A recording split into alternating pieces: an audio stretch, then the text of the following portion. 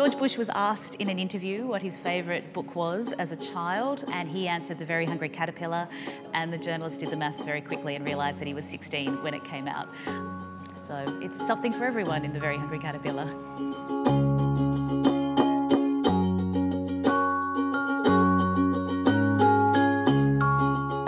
Both uh, the production and the puppets, the touchstone is Eric Carle himself, and so it was about immersing myself in his world, in his philosophies. Um, he has fantastic ideas about children and how they should interact with books and reading and literature and art.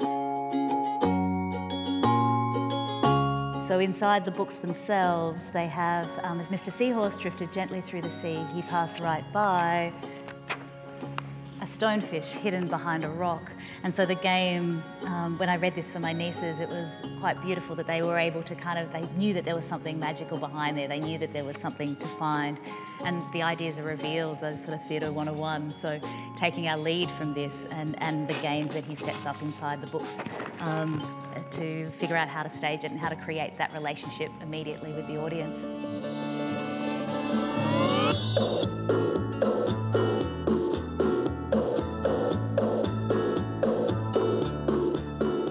We like to take puppets and styles and sort of um, mix them together. So we'll have some that are manipulated directly, we'll have some that are on the end of uh, control rods, we'll have some that are very large, some that are very small, and some that you know, might even fall somewhere between a set piece and a prop and everything in between.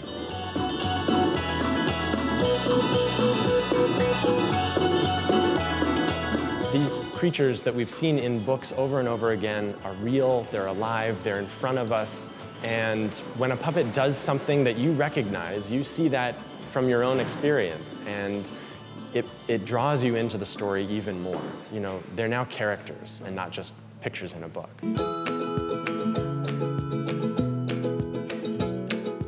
What lends from the books to the show is just its colour and its exuberance. The most wonderful little tiny fables that, uh, that, that, doesn't necessarily teach you any lessons, but it teaches you an appreciation of colour and movement and animals and curiosity and reading and creativity.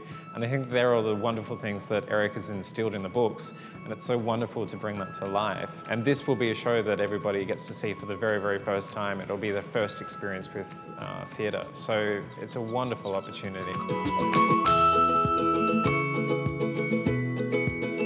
It really is bringing it to life, sort of step beyond what the books can do.